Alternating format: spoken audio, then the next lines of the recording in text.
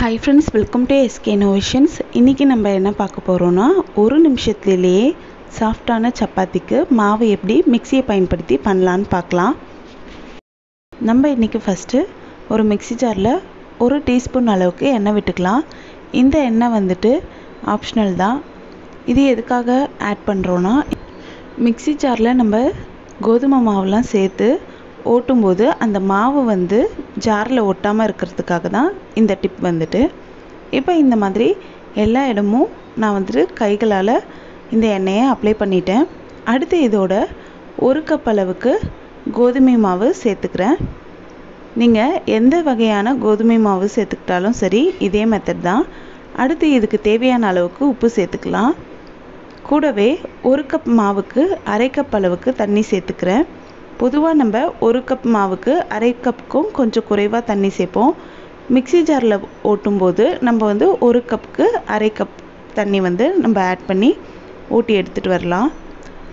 பாருங்கள் இந்த மாதிரி மிக்சியை ஆன் பண்ணி ஆன் பண்ணி ஆஃப் பண்ணிங்கன்னா ஒரு முப்பது செகண்ட்லேயே வந்துட்டு இந்த மாவு ரெடி ஆகிடும். இந்த மாதிரி எல்லா மாவுமே ஒன்றா வந்துட்ட பிறகு நம்ம வந்து ஸ்விட்ச் ஆஃப் பண்ணிவிட்டு இந்த மாவை வெளியில் எடுத்துடலாம். இது பார்த்திங்கன்னா ஒரு முப்பது செகண்ட் தான் ஆகும். அதுக்குள்ளவே இந்த மாவு வந்து ரெடி ஆகிடும். நான் யூஸ் பண்ணியிருக்க மாவு பார்த்திங்கன்னா ரேஷனில் வாங்கின கோதுமையை வீட்டில் வந்து க்ளீன் பண்ணிவிட்டு கடைகளில் கொடுத்து அரைச்ச மாவு தான். அது வந்துட்டு எப்படி அரைக்கணும்னு நான் ஏற்கனவே வீடியோ தனியாக போட்டிருக்கேன். பார்க்காதவங்க தேவைப்படுறவங்க டிஸ்கிரிப்ஷனில் லிங்க் தரேன். செக் பண்ணி பாருங்கள் இப்போ இந்த மிக்சியில் இருக்க கோதுமை மாவை இந்த மாதிரி ஒரு பவுலுக்கு மாற்றிக்கலாம் பாருங்கள் கொஞ்சம் கூட மாவு வந்து அதிகமாக ஒட்டலை. இதுவே நீங்கள் எண்ணெய் அப்ளை பண்ணாமல் அப்படியே மாவு போட்டிருந்தீங்கன்னா ரொம்பவே ஒட்டியிருக்கும். இப்போ இந்த மாவு வந்துட்டு இப்படி இருக்குன்னு பார்க்காதீங்க. ஒரு முப்பது செகண்டுக்கு இந்த மாவை வந்து கைகளாலே பிசைஞ்சு விட்டுக்கோங்க.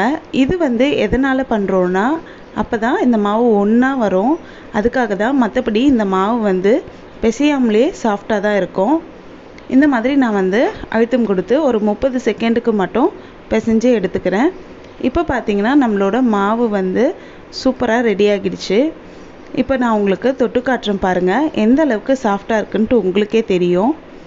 ஒருவேளை நீங்கள் வந்துட்டு இந்த மாவை ஸ்டோர் பண்ணி வைக்கிறதுனாலும் வச்சுக்கலாம். அப்படி இல்லாட்டி அப்படியே சுடுறதுனாலும் சுடலாம். நான் வந்துட்டு அப்படியே தான் சுட்டேன். எனக்கு மாவு ரொம்பவே சாஃப்டாக இருந்துச்சு.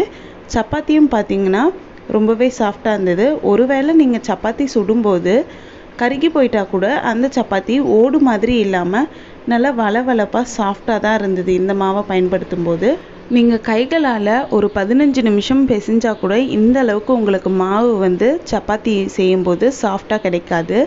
கண்டிப்பாக இந்த மெத்தடில் செய்தீங்கன்னா ரொம்பவே சாஃப்டாக இருக்குது சப்பாத்தின்ட்டு எல்லாருமே சொல்லுவாங்க. இந்த வீடியோ உங்களுக்கு பிடிச்சிருந்தா லைக் பண்ணுங்கள் ஷேர் பண்ணுங்கள் கமெண்ட் பண்ணுங்கள் நம்ம சேனலை ஃபஸ்ட் டைம் பார்க்குறீங்கன்னா மறக்காமல் சப்ஸ்கிரைப் பண்ணுங்கள் தேங்க்ஸ்